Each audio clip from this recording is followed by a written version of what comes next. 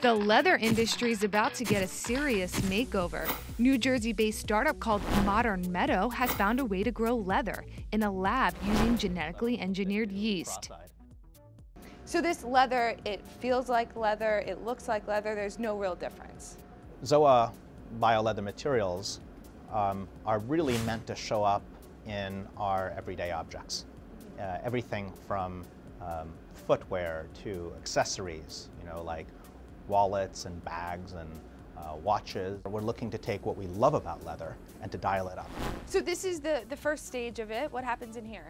So in this particular lab, what we do is we actually do all of the, the, the designing and building of our, of our cell factory, so to speak, where we actually will put the DNA that makes all of the basic building blocks of leather, which is collagen, same collagen you and I have in our bodies, but we make it in a yeast.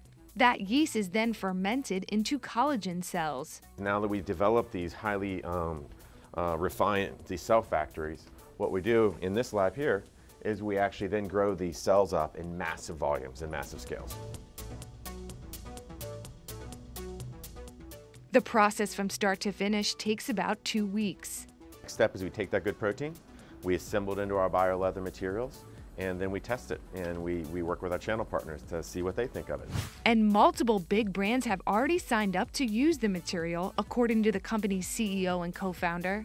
We've been approached by uh, hundreds of brands who want to work with us. We've been approached by many designers, um, and um, there's been tremendous interest for this technology before it's been even matured or fully developed. we also unconstrain leather and we can play in areas that traditional leather could not play in because we remove the constraints of size, shape, and how you, you, know, how you manufacture with it. When we have leather in a liquid form, we can start to do things like paint with it, or spray it, or um, you know, layer it and put it where we want it. So it opens up a lot of new creative possibilities.